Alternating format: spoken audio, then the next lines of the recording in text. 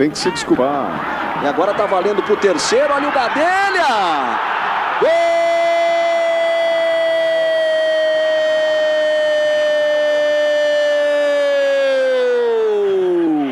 É de Fabiano Gadelha, é da Ponte Preta.